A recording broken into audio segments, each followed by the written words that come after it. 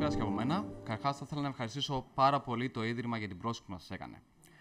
Από την ώρα που είδαμε τους προηγούμενους ομιλητές να μιλάνε για την πραγματική, την δυνατή αθλητική επιστήμη και το τι μας δίνει αυτή τη στιγμή, θα πάμε αυτή τη στιγμή σε λίγο πιο πρακτικού τύπου ε, αποτελέσματα. Συγκεκριμένα, τα επόμενα λεπτά θα πάμε να αναλύσουμε για το τι γίνεται όταν εμείς συνδυάζουμε την αερόβια άσκηση με την άσκηση αντιστάσεων. Συγκεκριμένα, στα επόμενα λεπτά θα προσπαθήσουμε να αναλύσουμε όσο το καλύτερα γίνεται, καταρχάς το αν χρειάζεται ή όχι η συνδυαστική άσκηση αντιστάσεων και αερόβια άσκηση κατά την αγωνιστική περίοδο και την προαγωνιστική περίοδο σε έναν αθλητή δρόμων αντοχής, το τι συμβαίνει όταν εμείς συνδυάζουμε ένα τέτοιο πρόγραμμα, ποια είναι τα ερευνητικά δεδομένα για να μπορέσουμε να μεγιστοποιήσουμε τις προσαρμογές από αυτά τα δύο αποτελέσματα. Και τέλος θα προσπαθήσω να δώσω όσο γίνεται πιο μεστές οδηγίες όσον αφορά το τι μπορεί να κάνει ένας προπονητής και ένας αθλητής για να μπορέσει να μεγιστοποιήσει τις προσαρμογές. Μέχρι τώρα ξέρουμε πολύ καλά ότι η άσκηση χαρακτηρίζεται από την αρχή της συγκεκριμενοποίησης, το οποίο με απλά λόγια σημαίνει ότι ανάλογα το ερέθισμα το οποίο δώσουμε σε έναν οργανισμό, συγκεκριμένες προσαρμογές θα μας έρθουν. Α δούμε τι σημαίνει αυτό. Αν εμείς πάμε και κάνουμε κλασικά προπόνηση δύναμης ή προπόνηση ισχύως, παρατηρούμε ότι με την πάροδο των προπονήσεων θα βελτιωθεί είτε η μέγιστη δύναμη, είτε ο ρυθμός με τον οποίο παράγουμε εμείς τη μέγιστη δύναμή μας. Αντίθετα, εάν κάνουμε συνεχεία αερόβια άσκηση και μάλιστα για μαραθώνιο, θα παρατηρήσουμε ότι ναι, μεν αυξάνεται πάρα πολύ η μέγιστη του οξυγόνου, αλλά ωστόσο όσον αφορά θέματα που έχουν να κάνουν με δύναμη και ισχύ, οι μαραθωνοδρόμοι δεν διαφέρουν σε τίποτα με τα άτομα τα οποία ακολουθούν καθιστικό τρόπο ζωής. Και ο λόγος που γίνεται αυτό είναι γιατί το κάθε είδος προπόνησης θα μου δώσει συγκεκριμένα ερεθίσματα ώστε να διαφοροποιηθούν πάρα πολύ οι βιολογικοί παράγοντες που επηρεάζουν την απόδοση. Χαριστικά παρατηρούμε εδώ πέρα από μια πρόσφατη εργασία μας τη λήψη αβιοψία από κάποια άτομα το οποίο είτε δεν κάναν καθόλου άσκηση, είτε ήταν μαραθωνοδρόμοι, είτε εκτελούσαν μόνο προπόνηση ισχύως ή μόνο προπόνηση δύναμης. Αυτό που παρατηρούμε κατευθείαν είναι ότι η προπόνηση που κάνανε προκάλεσε μεγάλη αύξηση του ποσοστού καταλαμβανόμενης επιφάνειας των μυκώνων τύπου 1 στους μαραθωνοδρόμους, ενώ αντίθετα υπήρχε μείωση του ποσοστού καταλαμβανόμενης επιφάνειας των μυκώνων τύπου 2α στους μαραθωνοδρόμους και μεγάλη αύξηση στους αθλητές δύναμης και ισχύως. Και τέλος, πολλές φορές παρατηρούμε, κάνουμε βιοψία σε αυτούς τους αθλητές και βλέπουμε ότι δεν έχουν σχεδόν καμία μυϊκή ίνα τύπου 2χ. Δηλαδή, οι μυϊκέ ίνε οι οποίες ευθύνονται κυρίως για την παραγωγή δύναμη και της ισχύως. Τώρα όμως, ποιο είναι το θέμα μας; Τα τελευταία χρόνια οι επιδόσεις όλο είναι και αυξάνονται. Μάλιστα, πρόσφατα σπάστηκε, λέμε, το ρεκόρ των δύο ωρών. Για να το κάνει όμως αυτός ο αθλητής, θα έπρεπε να διανύσει κατά μέσο όρο την απόστασή του σε, μία, σε ένα χρόνο το οποίο ήταν περίπου από 2,48 έως 2,52 το κάθε χιλιόμετρο. Γίνεται δηλαδή κατευθείαν αντιληπτό ότι η ένταση και η ταχύτητα που έπρεπε να κρατήσει ήταν πάρα πολύ υψηλή για πολύ μεγάλο χρονικό διάστημα. Για να μπορέσουμε εμείς να διατηρήσουμε μια υψηλή απόδοση στο μαραθώνιο, θα πρέπει να έχουμε συγκεκριμένες προσαρμογές όσον αφορά τον αερόβιο, τον αναερόβιο μηχανισμό, αλλά κάτι που ξεχνάμε πάρα πολύ όλοι οι προπονητές. Θα πρέπει πάρα πολύ να δώσουμε έμφαση στη μηχανική αποτελεσματικότητα και κυρίως στην ποιότητα και στη λειτουργία του μη. Έτσι, με βάση αυτά τα αποτελέσματα, παρατηρούμε ότι για να μπορέσει να βελτιωθεί η επίδοση σε ένα μαραθώνιο, ο κάθε προπονητής ενό δρομέα αντοχής θα πρέπει να δώσει συγκεκριμένα ερεθίσματα για να βελτιωθεί και ο αερόβιος και ο αναερόβιος μηχανισμός, αλλά κυρίως να βελτιωθεί και η μηχανική αποτελεσματικότητα που έχει ο αθλητής. Και εδώ αρχίζουν τα πράγματα να γίνονται λίγο πιο δύσκολα. Τι σημαίνει αυτό; Κάθε ένας παράγοντας από αυτούς καθορίζεται από διαφορετικούς βιολογικούς παράγοντες. Παρατηρούμε, στο μεταβολισμό έχει να κάνει κυρίως η λειτουργία του αερόβιου, του αναερόβιου μηχανισμού, η λειτουργία του καρδιοπνευστικού και τέλος η μηχανή καύσης και παραγωγής του έργου. Οι μεταβολικές δηλαδή ιδιότητες στο μυϊκό ιστό.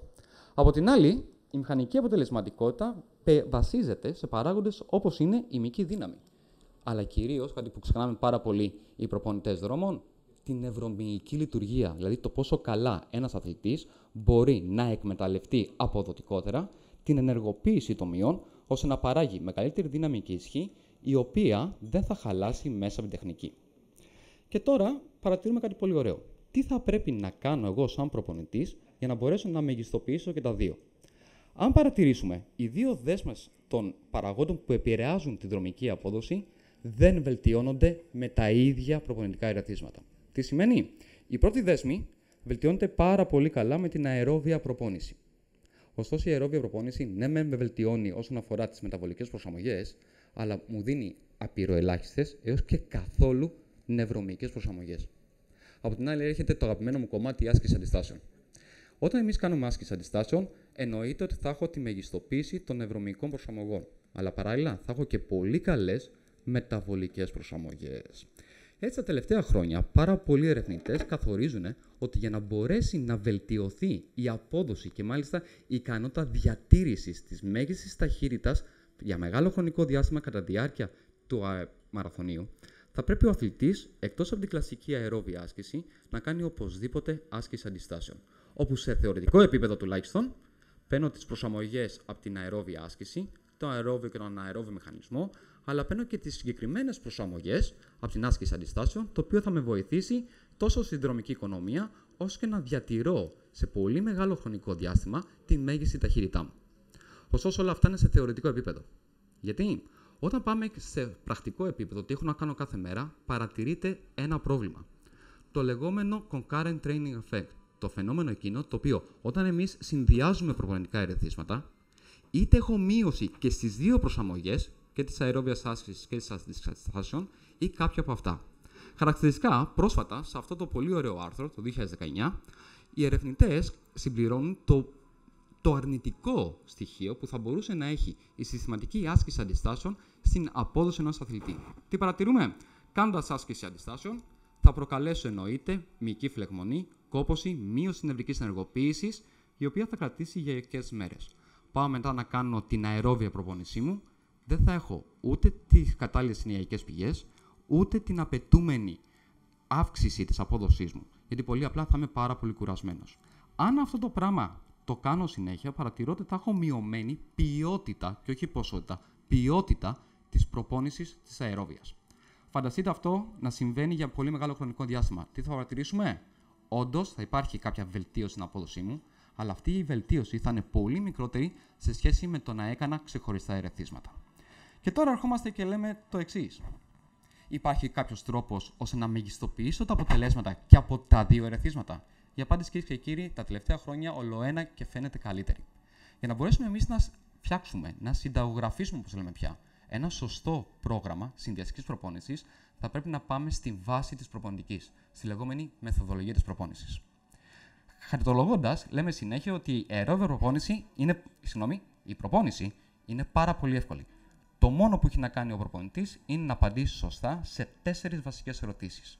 Η πρώτη, πώς; Ποια μέσα, ποιες μορφές προπόνησης θα χρησιμοποιήσω, αποτελεσματικότητα, συνδυάζοντας τη μία την άλλη για να μπορέσω να πετύχω το αποτέλεσμά μου. Η επόμενη ερώτηση, τι προπονητικά περιεχόμενα θα πάω να βάλω κατά τη διάρκεια της προπόνησης καθ' όλη τη χρονιά ώστε να το βελτιωποιήσω. Το επόμενο είναι το πότε. Πότε θα δώσω κάθε ένα ερέθισμα; Γιατί ανάλογα το πότε βάλω κατά τη διάρκεια όλου του προγραμματισμού μου κάθε ένα ερέθισμα, μπορεί να μου φέρει σοβαρά αποτελέσματα, καλύτερη βελτίωση της απόδοσής μου ή να μου μειώσει πάρα πολύ. Η αγαπημένη μου όμως είναι η τελευταία. Και δυστυχώς αυτή είναι η πιο δύσκολη. Είναι αυτό το αναθεματισμένο γιατί που λέμε εμείς οι ερευνητές και μας έχει φάει τη ζωή να προσπαθούμε να το απαντήσουμε. Το γιατί έχει να κάνει με την επιστημονική αιτιολόγηση όλων των προηγούμενων επιλογών που έχουμε κάνει. Και δυστυχώς αυτό που φαίνεται μέχρι τώρα είναι ότι τα περισσότερα προγράμματα αποτυχάνουν γιατί οι ίδιοι προπονητές δεν μπορούν να απαντήσουμε σωστά το γιατί επιλέξαμε το κάθε στοιχείο. Έτσι, θα προσπαθήσω λίγο να συνοψίσω όλα αυτά τα πράγματα. Για να μπορέσουμε να καταλάβουμε το γιατί, θα πάω λίγο σε κάτι το οποίο είπε ο κύριος Κλεισούρα και ο κύριος Γελαντά πολύ καλύτερα από μένα. Λέμε ότι η άσκηση θα μου φέρει προσαρμογές. Αν όμως ρωτήσουμε το πώς γίνονται αυτές τις προσαρμογές, θα δούμε ότι ο μηχανισμός είναι περίπλοκος. Κάθε ένα ερέθισμα που δίνω, κάθε τρόπος που προπονώ τον ασκούμενό μου, μου επιφέρει πολύ συγκεκριμένες μηχανικές και μεταβολικές απαιτήσεις, νευρική ενεργοποίηση και ορμονική ανταπόκριση. Ανάλογα σε τι κατάσταση είναι ο αθλητής μου, ανάλογα το βιολογικό του υπόβαθρο και ανάλογα το πώς έχω συνταγογραφήσει εγώ την προπόνηση, η διαφοροποίηση αυτών των παραγόντων με οδηγεί είτε στην μεγάλη ενεργοποίηση είτε στην απενεργοποίηση όλων των κινηταρικών μηχανισμών, το οποίο θα μου φέρουν εμένα τις διάφορες προσαρμογές. Παρατηρούμε δηλαδή όταν εμείς κάνουμε αερόβια άσκηση, το οποίο έχει να κάνει κυρίως με τις μεταβολικές απαιτήσεις, ο οργανισμός ενεργοποιεί συγκεκριμένο μοριακό μηχανισμό, το οποίο θα μου δώσει καλύτερη μυτοχονδριακή πρωτεϊνοσύνθεση. Μα απλά θα μεγαλώσουν τα μυτοχόνδριά μου, θα γίνουν καλύτερα τα μυτοχόνδριά μου και θα μπορώ να παράγω στη μονάδα του χρόνου πολύ περισσότερη ενέργεια. Από την άλλη όμως, έχουμε την άσκηση αντιστάσεων. Η άσκηση αντιστάσεων θα μου δώσει κάποιες μεταβολικές προσαρμογές, αλλά κυρίως ευθύνεται για τη λεγόμενη μειονειδική πρωτεϊνοσύνθεση, δηλαδή την πρωτεϊνοσύνθεση, το οποίο έχει να κάνει με την ποιότητα του μη, αλλά και κυρίως την αποκατάσταση και το μέγεθό του. Όταν εμείς όμως πάμε και βάλουμε αυτά τα δύο ερεθίσματα, φανταστείτε δύο διαφορετικά στρατόπεδα. Το οποίο το ένα προσπαθεί να επικρατήσει το άλλο. Ανάλογα το πώς συνδέσω εγώ την προπόνηση, ο ένας μηχανισμός μπορεί να πάει να μπλοκάρει τον άλλον. Με αποτέλεσμα είτε να έχω μειωμένες προσαρμογές, είτε να μην έχω καθόλου προσαρμογές. Οπότε πάρα πολύ βασικό. Σε όλους τους προπονητές, η συνταγογράφηση της άσκησης και της προπόνησης είναι το Α και το Μ. Ένα μικρό λάθος και μάλιστα, όπως δούμε λίγο παρακάτω, σε κορυφαίους αθλητές μπορεί να καταστρέψει ολόκληρη τη χρονιά χωρίς καν να το καταλάβουμε. Πάμε να δούμε όμως το πρώτο βασικό. Το τι.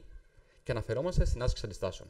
Σαν παλιός αθλητής 400 και 800, κάθε φορά που έλεγα στον προπονητή μου θα κάνουμε βάρη, το πρώτο πράγμα που μου έλεγε: Ωραία, πάρε λίγα βαράκια, άρχισε και κάνει επαναλήψεις. Γιατί είχε ακόμα στο νου του ότι για αντοχή θα πρέπει να κάνουμε τη λεγόμενη μυϊκή αντοχή. 30-40% άπειρες επαναλήψεις, άπειρα σετ, πολλές ασκήσεις, γύρω-γύρω όλοι. Αλλά τι γίνεται με την πραγματική βελτίωση της απόδοσης και της εισφορά αυτήν. Όντως, θα παρατηρήσουμε ότι όταν εμείς κάνουμε κυκλική προπόνηση ή προπόνηση μυϊκής αντοχής, θα υπάρχει κάποια βελτίωση στην απόδοσή μας. Τόσο στην απόδοση στον δρόμο, αλλά κυρίως αυτό που είναι πολύ σημαντικό τώρα πια, στον υγειακό κάσο κάθε κίνησης. Παρατηρήστε όμως τι γίνεται από όλα τα αποτελέσματα που έχουν εξετάσει την εφαρμογή προπόνησης δύναμης, ισχύως ή συνδυασμού δύναμης και ισχύως. Παρατηρούμε πολύ μεγαλύτερη βελτίωση της απόδοσης των αθλητών ημιαντοχή και αντοχή, κάνοντας προπόνηση δύναμης και προπόνηση ισχύως και πολύ μεγαλύτερη βελτίωση της ενεργειακής οικονομίας σε αυτούς τους αθλητές. Έτσι, τα τελευταία χρόνια παρατηρούμε γνωστούς αθλητές να αφήνουν τα λίγα κιλά, να πιάνουν αρκετά κιλά και να κάνουν πολύ περισσότερη προπόνηση. Μάλιστα, σε αυτό το πολύ ωραίο review καταλήγει ότι αν εμείς πάμε και κάνουμε στους αθλητές μας βαριά προπόνηση, πάμε το 85% της μέγιστης δύναμης, ή πλειομετρική προπόνηση ή συνδυασμό αυτών των δύο, περίπου 2 με 3 φορές την εβδομάδα, τότε έχω πιθανότερο το κατάλληλο στοιχείο για να μπορέσω να βελτιώσω την δρομική του απόδοσή του. Έτσι, ουσιαστικά καταλήγουμε στο φαινόμενο ότι θα πρέπει να βελτιώσω πολύ περισσότερο τη μυϊκή δύναμη και την ισχύ παρά την μυϊκή αντοχή αυτού του αθλητή μου. Το δεύτερο κομμάτι, τι είδος αερόβιας άσκησης; Δύο βασικές κατηγορίες, συνεχόμενη αερόβια άσκηση και διαλυματική. Για να μην μακρολογώ, όταν έχουμε να κάνουμε με ένα συνδυαστικό πρόγραμμα, έχουμε πολύ καλύτερα αποτελέσματα όταν εμείς επιλέγουμε να κάνουμε high intensity interval training. Διαλυματική άσκηση υψηλής έντασης, η οποία η ένταση είναι από το μέγιστο έως το υπερμέγιστο και ο όγκος προπόνησης είναι μικρός έως σχετικά μικρός. Για να μπορέσουμε να καταλάβουμε το γιατί γίνεται αυτό, έχει να κάνει πάρα πολύ με την κυταρική σηματοδότηση. Θα μπορούσα να μιλάω άπειρες ώρες εδώ πέρα, είναι το αγαπημένο μου κομμάτι, αλλά θέλω να καταλάβετε το εξής. Όταν εμείς πάμε και βάζουμε μια δραστηριότητα, το οποίο έχει πολύ μεγάλη ενεργειακή δαπάνη, ο οργανισμός μου θα πάει να μου μπλοκάρει πολύ αποτελεσματικά όλες τις προσαρμογές της άσκησης αντιστάσεων.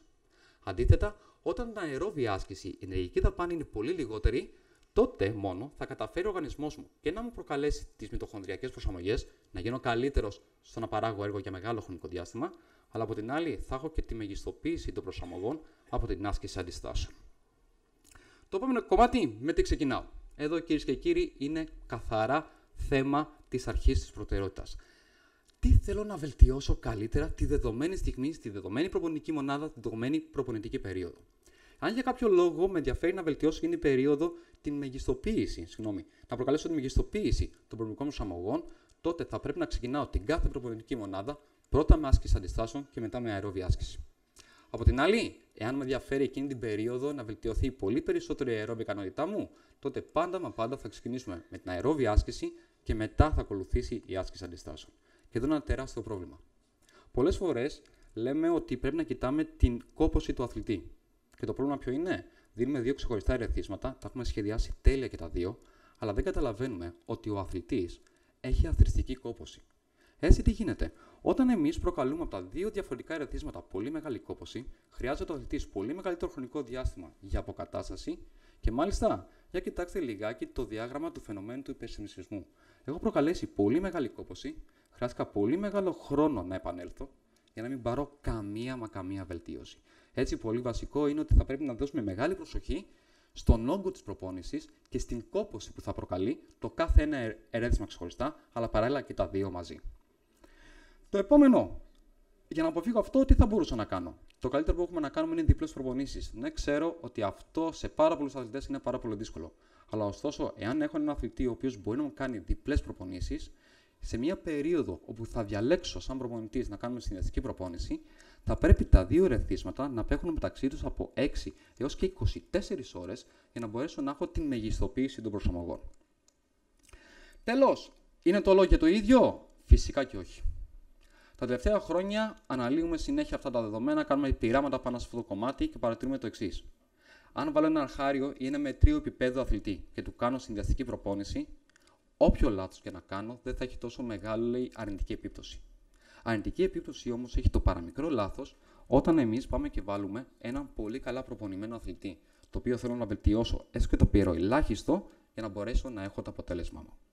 Έτσι, καταλήγοντας, θα καταλήξουμε στο συμπέρασμα ότι όντως σε θεωρητικό επίπεδο, αν κάνω άσκηση αντιστάσεων σε συνδυασμό με την αερόβια, θα είχα τα τέλεια αποτελέσματα. Ωστόσο, ανάλογα το πώς σχεδιάσετε το κάθε πρόγραμμα, μπορεί να έχετε είτε θετικά αποτελέσματα, είτε πολύ μεγάλα αρνητικά.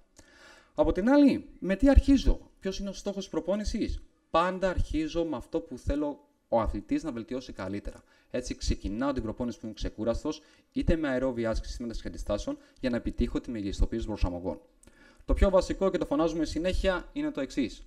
Ποιος είναι ο όγκος της προπόνησης; Παλιότερα, σαν αθλητής, τρέχαμε συνέχεια, κάναμε άπειρο χιλιόμετρα. Πάνω στο καλυμάραμα το θυμάμαι ατελείωτες ώρες και δεν παίρνουμε κανένα αποτέλεσμα. Και αυτή τη στιγμή λέμε ότι δεν μας ενδιαφέρει ο όγκος προπόνησης, αλλά μας ενδιαφέρει η ποιότητα της προπόνησης.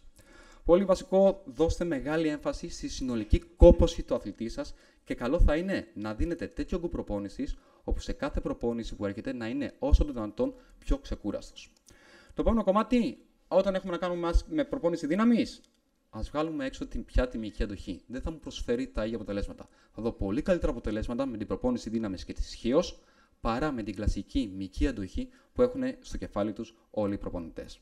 Και τέλος, ποιον έχετε απέναντί σας; Ανάλογα το ποιον έχετε απέναντί σας, όλα αυτά τα στοιχεία που αναλύσαμε μέχρι τώρα, είτε θα δώσουν πολύ μεγάλο όφελος, είτε και καθόλου όφελος. Κυρίες και κύριοι, ευχαριστώ για την υπομονή σας.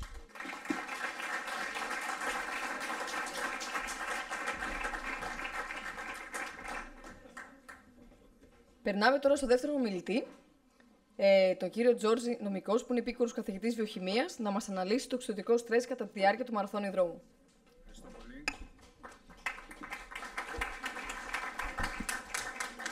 Σας ευχαριστώ πολύ. Ευχαριστώ την Αναγέννηση και την Πρόοδο για την τιμητική πρόσκληση.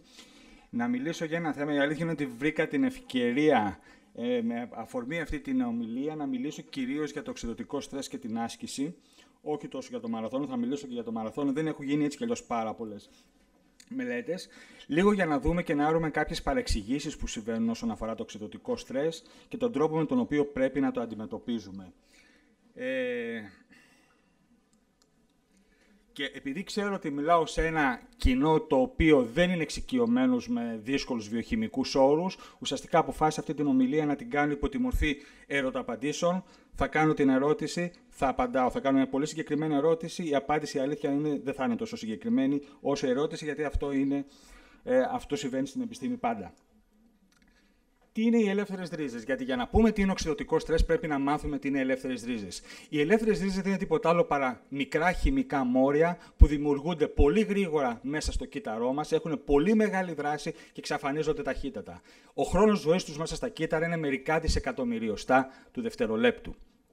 Γιατί υπάρχουν ελεύθερες ρίζες στον οργανισμό μας, είναι μοιραίο αποτέλεσμα της συνύπαρξή μα με το οξυγόνο. Από τη στιγμή που ο οργανισμός μας έχει μάθει να ζει με οξυγόνο, θα υπάρχουν και οι ελεύθερες ρίζες. Γιατί κατά βάση δημιουργούνται όταν ένα ποσοστό του οξυγόνου που φυσιολογικά μέσα στα κύτταρά μας πρέπει να γίνει νερό, δεν γίνεται νερό και γίνεται ελεύθερες ρίζες. Το ποσοστό αυτό μπορεί να είναι γύρω στο 1 με 2% σε καθημερινή βάση.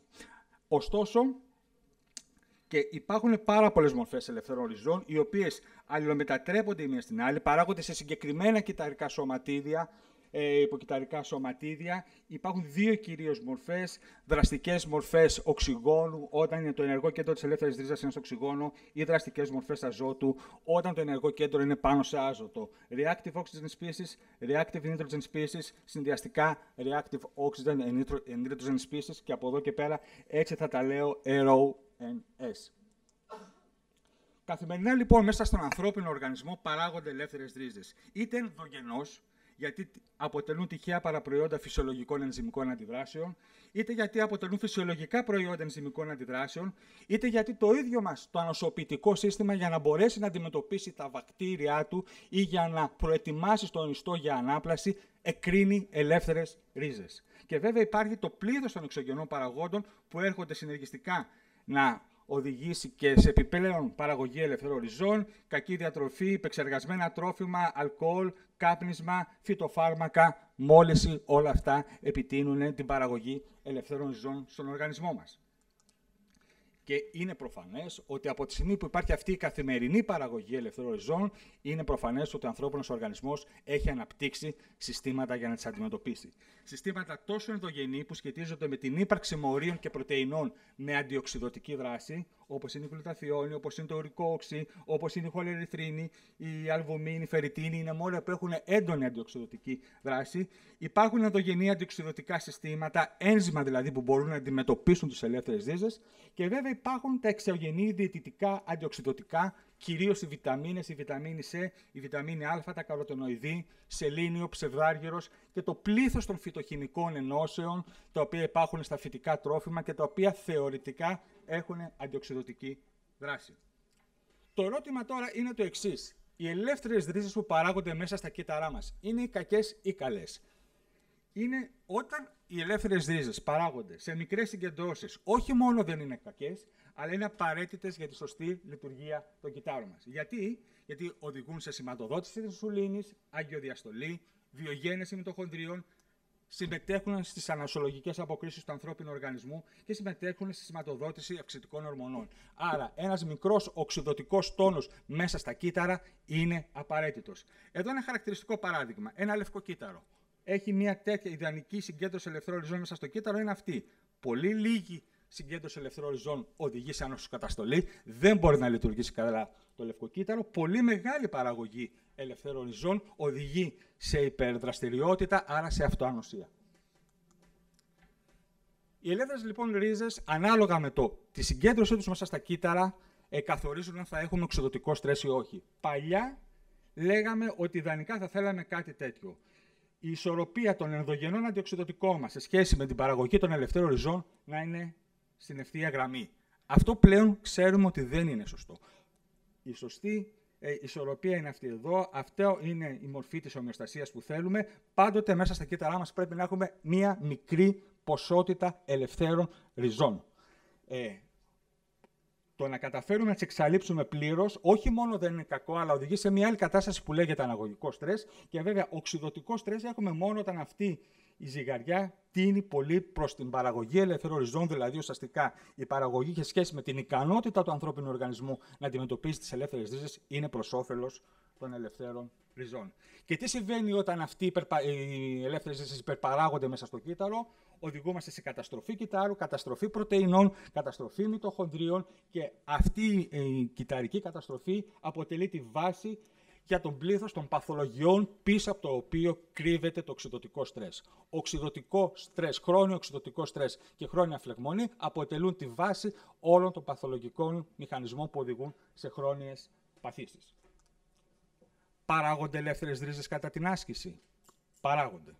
Και παράγονται ε, πλειοτροπικά και σε διάφορα μέρη του μυϊκού κυτάρου. Αρχικά πιστεύαμε ότι αυτή η παραγωγή οφείλεται στα μυτοχόνδρια και στα αυξημένη είσοδο του οξυγόνου στα μυτοχόνδρια. Δεν συμβαίνει αυτό. Οι ελεύθερες ρίζες μέσα στο μυϊκό κύτταρο και δεν θα μπλέξω με πολύπλοκους βιοχημικούς μηχανισμούς παράγονται με διάφορους τρόπους από διάφορα ένζημα, από την αυτοοξύδωση των κατεχολαμινών, από το γεγονός ότι έχουμε μία ισχυμία που μετά με την επανεξογόνωση οδηγεί σε παραγωγή ελευθερών ριζών και βέβαια έχω παραγωγή ελευθερών ριζών και από το ίδιο το ανασωπητικό κύτταρο, ειδικότερα όταν αυτή η άσκηση προκαλεί μυϊκό τραυματισμό. Γιατί ενεργοποιείται το μηχανισμό της φλεγμονής. Και είπαμε ότι η φλεγμονή παράγει ελεύθερες ρίζες. Είναι επιβλαβείς οι ελεύθερες ρίζες που παράγονται κατά τη διάρκεια της άσκησης. Η ήπια, ελεγχόμενη, μεταβατική, αυξημένη παραγωγή ελευθέρων ζώων σε κάθε προπονητική μονάδα μετά από κάθε ε, ε, μορφή άσκησης όχι μόνο δεν είναι επιβλαβής, αλλά είναι απαραίτητη και βοηθάει τον οργανισμό και αποτελεί τη βάση των ευεργετικών ιδιωτήτων την άσκησης. Γιατί; Γιατί βοηθάει στην επανασύνδεση γλυκογόνου, ενεργοποιεί τη σύνθεση ενδογενών αντοξιδοτικών, οπότε μετά από την επόμενη, στην επόμενη συνεδρία προπόνησης θα έχω καλύτερα αντιοξυδοτικούς μηχανισμούς, οδηγεί σε αγκινογένεση, άρα καλύτερη αιμάτωση και παροχή οξυγόνου και βέβαια μεσολαβήσεις μεταβολικές προσαρμογές, δηλαδή σε καλύτερη ινσουλινοβαισθησία και γλυκαιμικό έλεγχο και περισσότερα και καλύτερα μυτοχόνδρια στους μυς μας. Και εδώ το βλέπετε εδώ και σχηματικά. Βλέπετε ότι κάθε φορά που μέσα σε το, μυκό, το, το μυς συστέλλεται παράγοντα ελεύθερες ρίζες που σηματοδοτούν μηχανισμούς που οδηγούν σε αύξηση αντιοξυδοτικών ενζήμων, βιογένεση μυτοχονδρίων, ινσουλινοβαισθησία. Και εδώ επίσης βλέπετε ότι Κάθε φορά που συστέλλεται ο μυς, και αν αυτός εδώ είναι σε ηρεμία, απαιτείται μία αύξηση, μικρή αύξηση των ελευθερών ριζών για να μπορέσει αυτός ο μυς να ασκήσει δύναμη. Απλά δεν πρέπει να ξεπεράσουμε ποτέ αυτό το όριο που κανείς δεν ξέρει ποιο είναι, γιατί αν το, το ξεπεράσουμε πάμε πλέον στη λογική του οξυδοτικού στρες και έχουμε τα αντίθετα αποτελέσματα. Πότε η άσκηση, η χρόνια άσκηση, πότε η άσκηση μπορεί να προκαλέσει χρόνιο οξυδοτικό στρες, κυρίως όταν η προπόνηση είναι υψηλής έντασης και διάρκειας, χωρίς ο ανθρώπινο να έχει τις απαραίτητε προσαρμογές, όταν κάνουμε μια άσκηση στην οποία δεν είμαστε εξοικειωμένοι, όσο αυξάνεται η ηλικία, μειώνεται τα ενδογενή αντιοξυδοτικά μας. Η χαμηλή πρόσληψη προφανώς διαιτητικών αντιοξυδοτικών ευνοεί αυτή την κατάσταση και βέβαια υπάρχουν συνοδά νοσήματα όπως είναι το άστομα που ενεργοποιούν την παραγωγή ελευθέρων ζώνων μετά την άσκηση. Το αγώνισμα του μαραθωνίου προκαλεί οξυδοτικό στρες. Πριν σας πω αν προκαλεί οξυδοτικό στρες, κοιτάξτε μια μελέτη που έγινε πριν από ένα χρόνο, όπου ουσιαστικά αυτό που βλέπετε εδώ είναι το μεταβολικό προφίλ ε, ανθρώπων μαραθωνοδρόμων πριν το μαραθώνιο και μετά το μαραθώνιο. Αλλάζει τελείως ο μεταβολισμός τους μετά αμέσως το, ε, τον αγώνα μαραθωνίου. Ουσιαστικά αυτό που γίνεται είναι ότι αυξάνεται ε, η γλυκονογέννηση, παραγωγή γλυκόζης από το ύπαρ, μειώνει την έκρηση ινσουλίνη, αυτό οδηγεί σε αυξημένη λιπόδηση, λιπόλυση, εναλλακτικέ μορφές οξύδωσης των λιπάρων οξύων, οδηγεί σε αυτοφαγία, δηλαδή στο μηχανισμό εκείνο που τα κύτταρά μας, μην έχοντας θρεπτικές ύλες, τρώνε τον ίδιο τους τον εαυτό, προφανώς αυξημένο καταβολισμό πρωτεϊνών και αμινοξίων, αυξημένες στεροειδεί ορμόνες και βέβαια σε αυτή τη μελέτη βρέθηκαν και πάρα πολλά αυξημένα προϊόντα του εντερικού μικροβιώματος, τα οποία είναι αποτέλεσμα της αλληλεπίδρασης της διατροφής με το εντερικό μικροβίωμα. Σε, στα επόμενα χρόνια θα παίξει πάρα πολύ επίδραση του εντερικού μικροβιώματος στην αθλητική απόδοση. Το άθλημα του μαραθωνίου προκαλεί οξυδοτικό στρες. Προκαλεί. Προκαλεί, για να είμαι ακριβής, προκαλεί αύξηση συγκεκριμένων δικτών, ε, βιοχημικών δικτών οξυδοτικού στρες. Αν αυτό λέγεται και οξυδοτικό στρες, αυτό είναι μια μεγάλη κουβέντα. Παράλληλα όμως, αμέσως μετά από έναν αγώνα μαραθωνίου, παρατηρείται στην κυκλοφορία του αίματος αυξημένα επίπεδα βιταμίνης Ε, βιταμίνη ε και γενικότερα καλύτερο αντιοξυδοτικό προφίλ ακριβώς γιατί η δύο παραγωγή ελευθέρων ριζών κατά τη διάρκεια του μαραθωνίου ενεργοποιεί τους προσαρμοστικούς αντιοξυδοτικούς μηχανισμούς του μαραθωνοδρόμου. Ωστόσο, αν δεν μπορούμε να το ελέγξουμε το οξυδοτικό στρες, είτε δεν κάνουμε κακή διατροφή, είτε γιατί κάνουμε κακή προπόνηση, τι επιπτώσεις μπορεί να έχει αυτό το χρόνιο οξυδοτικό στρες στον αθλητική αθλούμενο, προφανώς μυϊκή καταστροφή, μειωμένη ικανότητα του μήνα παράγει έργο, διαταραχές στο σύστημα ακτινής μειοσύνης, μειωμένη παραγωγή ενέργειας από τα μυτοχόνδρια, μειωμένη σουλινοβαισθησία και έσοδος γλυκός στο μυϊκό κύτταρο, μειωμένη αγκιοδιαστολή, ανοσοπάρκεια, κόπωση, μυοκαρδιακές βλάβες, γαστρεντερικές διαταραχές. Και επειδή κάποιοι από εσάς θα πάτε μεθαύριο να τρέξετε μαραθώνιο, προσέξτε και πολλοί από εσάς θα πάρετε ίσως κάποια παρακεταμόλη, Ντεπόν, Παναντόλ για να αντιμετωπίσετε τους μυϊκούς πόνους που θα σας προκαλέσει ο μαραθώνιος. Να ξέρετε ότι αν κάποιοι συγκεκριμένοι άνθρωποι έχουν επιρρέπεια να αυξάνουν πάρα πολύ τις ελεύθερες ρίζες τους και να προκαλείται οξειδωτικό στρες από τον μαραθώνιο, τότε παίρνοντας και μία παρακεταμόλη, αυτό οδηγεί σε έναν αυξημένο κίνδυνο ε, οξίας υπατοτοξικότητας, γιατί για να καθαριστεί η παρακεταμόλη από το ύπαρ μας απαιτείται ένα ενδογενές αντιοξυδό που λέγεται γλουταθιόνη και η οποία μετά το μαραθώνιο πέφτει πάρα πολύ. Και πάμε και στο τελευταίο κομμάτι που έχει να κάνει με τα αντιοξυδοτικά συμπληρώματα. Ε, και αν θα πρέπει να τα παίρνουμε. Εδώ να πω ότι βλέπετε πόσο δραματική είναι η αύξηση των μελετών που σχετίζονται με τη χορήγηση αντιοξυδοτικών συμπληρωμάτων σε αθλητές γενικότερα.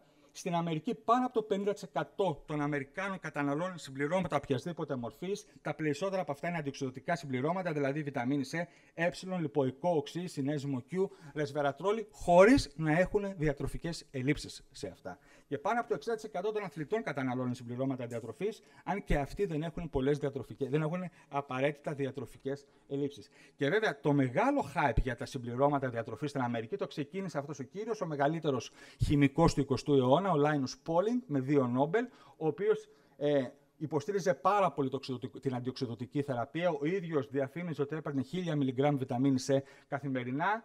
Ε, και βέβαια οι πρώτες του, ο τρόπος με τον οποίο αντιμετώπιζε το οξυδοτικό στρες νομίζω ότι αυτή τη στιγμή έχει ξεπεραστεί. Να λαμβάνουν λοιπόν οι αθλητές γενικότερα αντοχή σε αντιοξυδοτικά συμπληρώματα. Σαφώς όχι σε προπονητική περίοδο προετοιμασίας. Γιατί παρεμποδίζουν τις προσαρμογές του οργανισμού. Παρεμποδίζουν δηλαδή αυτό που κάνει η ήπια παραγωγή ελευθερών ζώων μετά από κάθε συνεδρία άσκησης. Δηλαδή τις μυϊκές προσαρμογές. Την αυξημένη βιογένεση μυτοχονδρίων, την αυξημένη ινσουλινοευαισθησία και το αυξημένο αντιοξυδοτικό προφίλ. Έχουν τα αντιοξυδοτικά συμπληρώματα διατροφής εργογόνο δράσης από τις μελέτες που έχουν γίνει μέχρι τώρα, η μακροχρόνια λήψη αντιοξυδοτικών συμπληρωμάτων, κυρίως βιταμίνης C, είναι η πλειοψηφία των μελετών, δεν έχει καμία επίδραση και ακόμα μειώνει την αθλητική απόδοση, αντοχή, δύναμη. Αν έχουν κάποια από αυτά τα συμπληρώματα που θα σας πω ποια είναι, κάποια ευεργετική εργογόνο δράση, φαίνεται ότι αυτή δεν οφείλεται στην μακροχρόνια πρόσληψη, αρκεί να πάρεις 2-3 δόσεις πριν τον αγώνα. Η δράση τους είναι άμεση. Ποιο είναι το καλύτερο από αυτά, σύμφωνα με τη βιβλιογραφία τουλάχιστον; Φαίνεται ότι ενώσεις που είναι δότες θειολών, τώρα αυτό ότι είναι δότες θειολών είναι μεγάλη ιστορία, ε, είναι ουσιαστικά ενώσεις οι οποίες μας βοηθάνε να αυξηθεί πάρα πολύ μέσα στα κύτταρά μας αυτό το πολύ ισχυρό αντιοξυδοτικό που λέγεται γλουταθιόνη. Φαίνεται ότι μπορούν να αυξήσουν την αερόβια αντοχή. Και ο καλύτερος από αυτά τα συμπληρώματα είναι η νη ακέτυλο κυστεΐνη. Η νέα κυκλοκυστεΐνη είναι ένα μόριο το οποίο οδηγεί μέσα στα κύτταρά μας σε παραγωγή κυστεΐνης, η οποία με τη σειρά της συμμετέχει στη σύνθεση γλουταθιόνη. Φαίνεται λοιπόν ότι η άμεση χορήγησή της μπορεί να οδηγήσει σε μείωση του οξυδοτικού στρες και της μυϊκής κόπωσης. Φαίνεται ότι είναι το μοναδικό μέρη στη γύμνη αντιοξυδοτικό που μπορεί να βελτιώσει την απόδοση, αλλά έχει μικρή απορρόφηση και οι περισσότερες μελέτες δείχνουν ότι η καλύτερη δράση της ε, την έχει όταν γίνεται το φλεβίο. Γι' αυτό και τα πειράματα που έχουν γίνει με νέα κυκλοκυστεΐνη σε πειραματόζα γιατί έχουν πολύ καλύτερες δράσεις σε σχέση με τον άνθρωπο που τις παίρνει την νέα κετολοκυστεΐνη από, από το στόμα. Βέβαια, πάλι η χρόνια λήψης της εμποδίζει τι προσαρμογές και σε πολύ μεγάλες δοσολογίε έχει αρκετές παρενέργειες. Όσον αφορά την αποκατάσταση του αθλητή, έχουν δοθεί άπειρα συμπληρώματα σε άπειρες δοσολογίες. Δεν υπάρχει όμως μία συνέπεια όσον αφορά τα αποτελέσματα. Αν έπρεπε να προτείνω ένα φυτοχημικό, ένα συμπλήρωμα που φαίνεται ότι συνεπώς βελτιώνει το, με το ασκησογενέ φλεγμονή, οξυδοτικό στρες και μετά από αγώνα αγώνες αντοχής, είναι αυτό εδώ πέρα ο χυμός από ταρτσέρι, από κεράσια, το οποίος λειτουργεί ευρέω και φαίνεται ότι έχει ισχυρότατες αντιοξυδοτικές και αντιφλεγμονώδεις δράσεις, κυρίως λόγω της ύπαρξη ανθιοκιάνιδιών. Και τέλος, ελάχιστες μελέτες έχουν δείξει, έχουν γίνει όσον αφορά την επίδραση των διαιτητικών αντιοξυδοτικών στην αποκατάσταση μετά από το μαραθώνιο. Εγώ προσωπικά βρήκα τρεις. Μαραθώνιο μιλάω και δεν μιλάω ούτε για ημιμαραθώνιο ούτε για υπερμαραθώνιους. Μιλάω συγκεκριμένα για μαραθώνιο. Και με αυτά τα δεδομένα, εγώ δεν μπορώ σε καμία περίπτωση να σας πω πάρτε το ένα το άλλο συμπλήρωμα. Δεν μπορώ να προτείνω κάτι, δεν φαίνεται η βιβλιογραφία αυτή τη στιγμή να είναι έτοιμη να σας προτείνει κάποιο αντιοξυδοτικό συμπλήρωμα για την αποκατάσταση. Συμπερασματικά λοιπόν, η ελεγχόμενη και ήπια παραγωγή ελευθέρων ζώων που, που επιτυχάνει η καθημερινή άσκηση αποτελεί βασικό μηχανισμό των ευεργετικών για την υγεία δράσεών της και η πέρμετρη λήψη αντιοξυδοτικών συμπληρωμάτων διατροφής έρει αυτές τις δράσεις. Αθλήματα αντοχής όπως ο μαραθώνιος προκαλεί σαφώς μεταβατικό στρες, αλλά δεν υπάρχει ακόμα επαρκής αριθμός μελετών που να πιστοποιούν ότι η μείωση του, του οξυδοτικού στρε με αντιοξυδοτικά μπορεί να έχει κλινικά σημαντικά αποτελέσματα.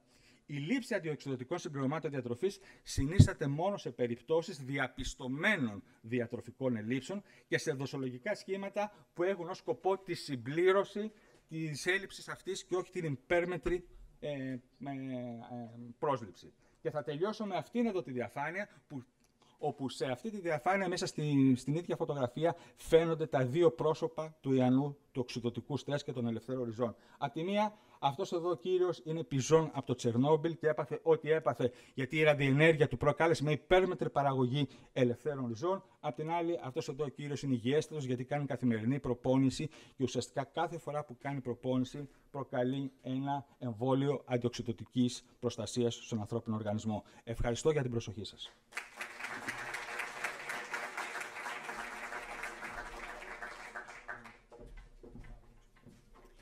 Συνεχίζουμε με, τη τρίτη, ε, με τη τρίτη παρουσίαση που αφορά την πρόληψη κακώσεων σε δρομής με τη χρήση νέων τεχνολογιών που θα αναπτυχθεί από τον κύριο Παπαγιάννη Γιώργο και εν συνεχεία από τον κύριο Κουλουβάρη Παναγιώτη.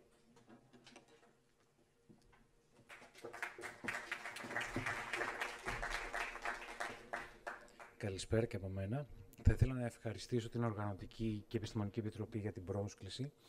Σήμερα θα κάνουμε μία ε, σύντομη, γιατί δεν μπορεί να είναι αλλιώς ανάπτυξη του τρόπου με τον οποίο μπορεί να γίνει πρόληψη κακώσεων σε δρομείς ε, με τη χρήση νέων τεχνολογιών.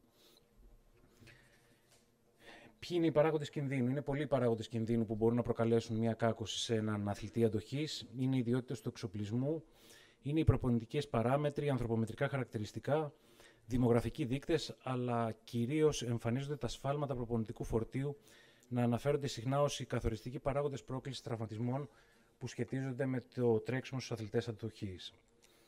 Σε μια πρόσφατη μελέτη, ο Μπέλτσεν και οι συνεργάτες του έχουν κάνει μια προσπάθεια και αναπτύξαν έναν αξιόλογο αλγόριθμο, ο οποίος συσχετίζει τους παράγοντες κινδύνου τραυματισμού σε δρομής.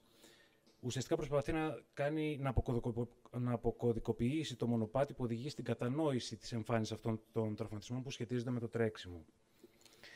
Στο πρώτο στάδιο αναλύει τη χωρητικότητα φορτίου των μυοσκελετικών δομών. Η χωρητικότητα φορτίου ως προς την ε, δομή μπορεί να οριστεί ως η ικανότητα του μυοσκελετικού συστήματος να αντέχει στο φορτίο χωρίς να υποστεί βλάβη.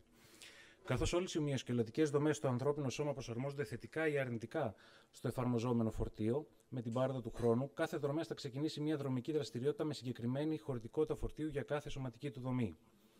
Αυτή η προσαρμογή μπορεί να επηρεαστεί από παράγοντες όπως ο χρόνος μεταξύ των προπονήσεων ή των αγώνων, την εμπειρία που έχει ο αθλητής, προηγούμενους τραυματισμούς, την έμεινη ρίση για τις γυναίκες, η διατροφή, ο ύπνος, χρήση αντισυλλητικών και πολλοί άλλοι παράγοντες. Αυτοί οι παράγοντες περιλαμβάνουν μόνο έναν περιορισμένο αριθμό γνωστών παραγόντων κινδύνου και ενδέχεται να επηρεάσουν σημαντικά τη χωρητικότητα φορτίου του αθλητή, με την οποία ξεκινάει την προπόνησή του. Στο δεύτερο στάδιο αναλύεται η συγκέντρωση φορτίου σε συγκεκριμένη δομή αναπροπόνηση. Η δρομική συμμετοχή ορίζεται ως ο αριθμός των βημάτων που πραγματοποιήθηκαν κατά τη διάρκεια της μία προπόνησης τρεξίματος. Στον αλγόριθμο, στον αλγόριθμο που εξετάζουμε, μεγαλύτερη σημασία δίνεται στον αριθμό των βημάτων και όχι στην απόσταση που έχει τρέξει ο δρομέας, ούτε και στον χρόνο που έχει τρέξει, διότι μας ενδιαφέρει ο αριθμός των φορτίων που έχει δεχτεί ένα βήμα ο αθλητής. Ο υπολογισμός του αθλητιστικού φορτίου στις μυοσκελετικέ δομές που εφαρμόζεται αναπροπόνηση ποσοτικοποιείται ανάλογα με τον αριθμό των διασκελισμών, όπως είπαμε, και λαμβάνει υπόψη την κατανομή του φορτίου αναδιασκελισμός στι μυοσκελετικέ δομές και το μέγεθος που εφαρμόζεται σε αυτές τι μυοσκελετικέ δομές ανά βήμα. Στο τρίτο στάδιο, η χωρητικότητα φορτίου των μυοσκελετικών δομών μειώνεται σταδιακά ως απόκριση στην επαναλαμβανόμενη φόρτιση που συνδέεται με τα πολλαπλά βήματα και όταν δεν ακολουθείται και μεγάλη ή ικανοποιητική περίοδος αποθεραπείας. Ο βαθμός στον οποίο αυτό η ικανότητα μειώνεται μετά από κάθε βήμα εξαρτάται από το μέγεθος του φορτίου που εφαρμόζεται σε κάθε βήμα και την ευαισθησία των δομών στην εφαρμογή αυτών των φορτίων. Η μείωση της χωρητικότητας φόρτισης επίσης μπορεί να επηρεαστεί και από ψυχολογικούς και εξωαθλητικούς παράγοντες. Το τέταρτο στάδιο είναι ουσιαστικά η σχέση μεταξύ φορτίου και χωρητικότητας φορτίου, που θεωρείται ότι παίζει σημαντικό ρόλο στην εκδήλωση τραυματισμών. Συνοπτικά, ο αριθμός των βημάτων που ένας δρομέας είναι σε θέση να ολοκληρώσει χωρίς να υπερβαίνει τη χωρητικότητα φορτίου μιας συγκεκριμένης δομής σε μία προπόνηση τρεξίματος εξαρτάται από την ειδική χωρητικότητα φορτίου της δομής που ξεκινάει την προπόνηση, την ποσότητα φορτίου που εφαρμόζεται στη δομή σε κάθε βήμα, το μέγεθος και την κατανομή της και την ευαισθησία της δομής στο φορτίο αυτό, τη μείωση στην ικανότητα φόρτισης. Πώς γίνεται όμως η ποσοτικοποίηση αυτών των βιομηχανικών παραμέτρων που αναφέραμε; Οι σχετιζόμενοι με το τρέξιμο τραυματιστή μη οφείλονται στο συνδυασμό ότι ένας δρομέας έχει πολλαπλούς παράγοντες κινδύνου και στη συνέχεια συμμετέχει σε μια δρομική δραστηριότητα υπό ορισμένες συνθήκες σε βαθμό που υπερβαίνει τη χωρητικότητα φορτίου αναμειοσκελετική δομή. Η καταγραφή αυτών των βιομηχανικών παραμέτρων για μεγάλο συνεχόμενο χρονικό διάστημα είναι δυνατή με, την εφαρμο... με τις εφαρμογές φορητών και φορέσιμων αισθητήρων, οι οποίες παρέχουν πληροφορίες κινηματικών και κινητικών δεδομένων σε πραγματικό χρόνο. Η χρήση καινοτόμων φορέσιμων συσκευών καθώς και η ανάλυση των δεδομένων σε πραγματικό χρόνο επιφέρει μια αλλαγή στη μελέτη στην βιομηχανική ανάλυση των δρομέων, που θα μπορούσε ενδεχομένως να συμβάλλει και στην εξήγηση των εξαιρετικών επιδόσεων ορισμένων αθλητών από πλευράς βιομηχανική. Μια τέτοια τεχνολογική προσέγγιση μπορεί επίσης να χρησιμοποιηθεί για να βοηθήσει τον αθλητή, τον προπονητή, τον αθλητικό γιατρό και τον αθλητικό επιστήμονα να, περνούν, να παίρνουν καλύτερα ενημερωμένες αποφάσεις όσον αφορά την αποτελεσματικότητα των παρεμβάσεων, των θεραπείων ή της πρόληψης των τραυματισμών. Είναι κάτι ανάλογο με την τηλεϊατρική και έτσι πλέον εισάγεται η έννοια του τηλεαθλητισμού στην κατανόηση της πρόληψης, και βελ...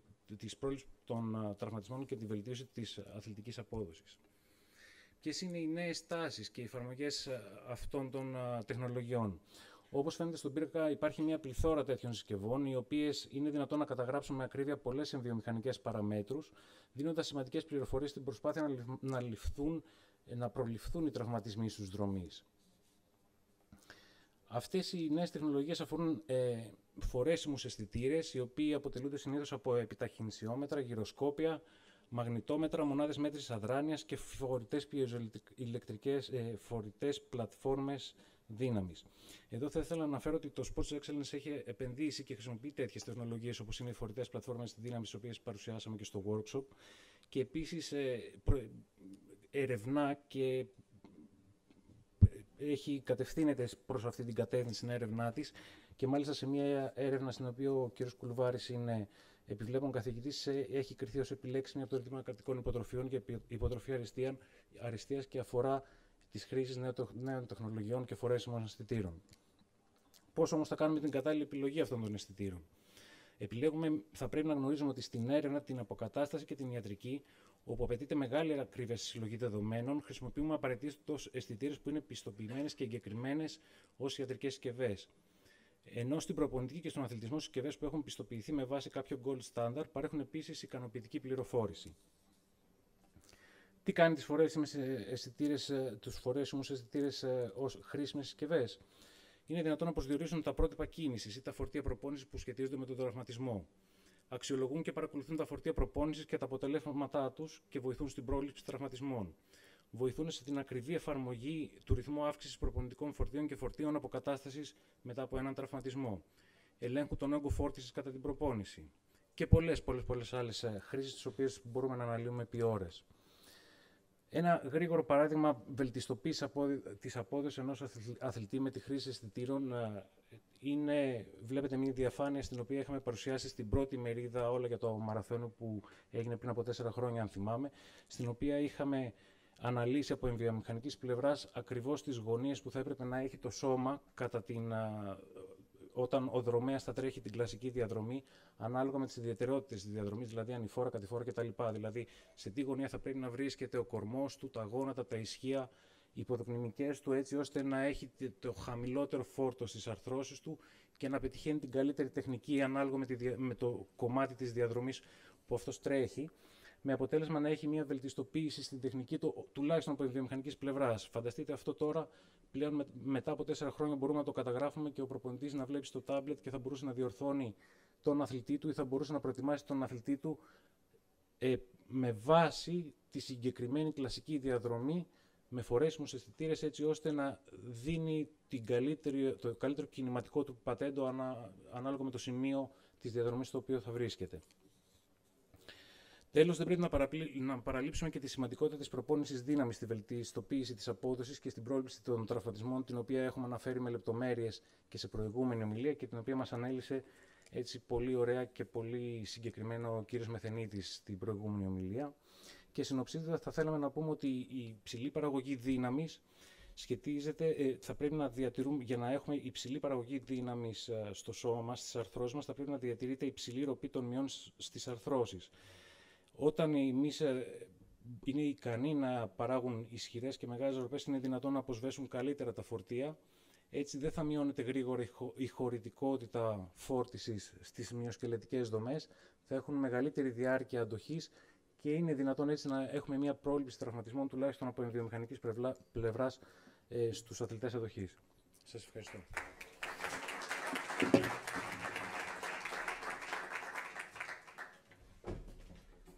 Ωραία, στο βήμα θα έρθει ο κύριος Κουλουβάρης Παναγιώτης για να κάνει κάποιο σύντομο σχολιασμό πάνω στη θεματική Καλησπέρα, έχετε κουράγιο ακόμα; Πώς είναι οι προπονητές που έχουν μείνει; Ε, μια ερώτηση. Ε, πώς αξιολογείτε το προπονητικό φορτίο στον αθλητή σας, την επιβάρηση που έχει το προπονητικό φορτίο, είτε σωματική κόπωση, είτε νοητική κόπωση, έχετε κάποιο, κάτι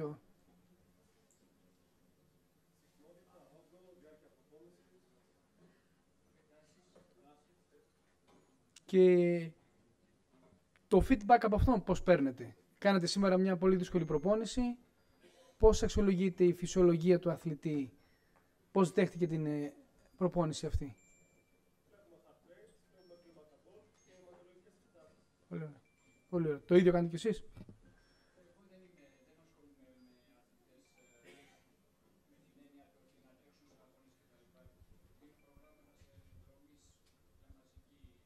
Μάλιστα. Ωραία. Μας απασχόλησε πάρα πολύ στο, στο τμήμα αθλητικής αριστείας πώς θα κάνουμε παρακολούθηση του προπονητικού φορτίου και του σωματικού φορτίου και του νοητικού φορτίου. Καταλήξαμε σε αυτό που θα θέλαμε να μοιραστούμε μαζί σας, το οποίο πιέζουμε πάρα πολύ τους προπονητές των εθνικών ομάδων να το υιοθετήσουν. Δυστυχώς υπάρχει μεγάλη αντίσταση σε αυτό. Ε, είναι, λείπουν οι, φύγαν τα παιδιά οι πρωταθλητές μας. Ε, τι θέλουμε εμείς, θέλουμε να δούμε το προπονητικό φορτίο, θέλουμε να δούμε την ευεξία του αθλητή μας, θέλουμε να δούμε τα τεστ που έχουμε κάνει, να τα εκτιμήσουμε, να παρακολουθήσουμε την ικανότητά του να επανέλθει μετά από μια σκληρή προπόνηση και να καταγράψουμε τις κακώσεις. Αυτό είναι το εργαστήριό μας, κάποια από τα κομμάτια που έχουμε στο εργαστήριό μας. Όλα αυτά τα δεδομένα έχουμε φύγει από αυτό το κλασικό ημερολόγιο που κρατάγανε παλιά οι προπονητές και αυτό που προτείνουμε είναι αυτό το λογισμικό, το Athletic Monitoring, που έχουν πάρα πολλές ε, ομάδες, το εξωτερικό, είναι από τον Καναδά.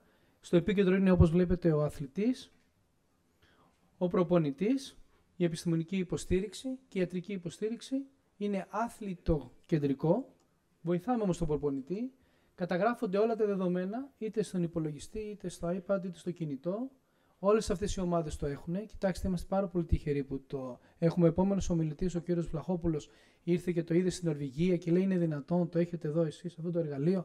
Και δυστυχώς πάρα πολύ λίγοι. Ενώ έχουμε περίπου 14 εθνικές ομάδες, πάρα πολύ λίγοι προπονητές το έχουν υιοθετήσει.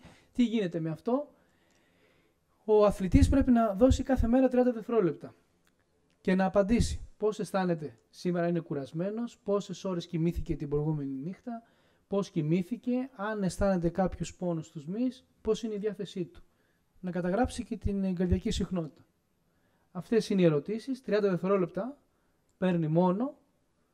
Έχουμε καταγράψει και όλα τα τεστ που έχουμε κάνει και όλες τις επιδόσεις του, είτε είναι προπόνηση είτε είναι τεστ στο εργαστήριο. Γράφει και την ε, κλίμακα πώς σκληρή ήταν η προπόνηση και αν ήταν, αν τη διασκέδασε, μπορεί να μας περιγράψει αυτό που να γίνει και από μακριά και να έρθει στον προπονητή της εμάς. Αν έχει, ας πούμε, ένας κολυβητή έχει πόνο στον ε, αριστερό ώμο, αυτή η πληροφορία έρχεται στο ιατρικό, στην ιατρική ομάδα, έρχεται και στον προπονητή, καταγράφεται και τι θέλουμε να δούμε. Θέλουμε να δούμε το προπονητικό φορτίο, την, τη σχέση μεταξύ του οξύ προπονητικού φορτίου, της προπόνησης αυτής της εβδομάδας, με το χρόνιο προπονητικό φορτίο. Αυτή η σχέση πρέπει να είναι μεταξύ 0,8 και 1,3 πάνω από 1,3 πάμε, κινδυνεύουμε να μπούμε στο, στην υπερπροπόνηση και αυξάνει η πιθανότητα του τραυματισμού. Κάτω από 0,8 δεν είμαστε καλά φορμαρισμένοι. Ε, αυτά είναι τα που βγαίνουν, όλες αυτές οι καμπύλες βγαίνουν με, βάζοντας όλα τα στοιχεία του αθλητή και πέρα από το, την σχέση μεταξύ οξύ προπονητικού φορτίου και χρόνου προπονητικού φορτίου, βλέπουμε και τη μονοτονία της προπόνησης, το δείχνει της μονοτονίας, καθώς έχει βρεθεί, αν έχει ένα δείχτη πάνω από δύο, είναι ένας πολύ σπουδαίος παράγοντας κινδύνου για υπερπροπόνηση.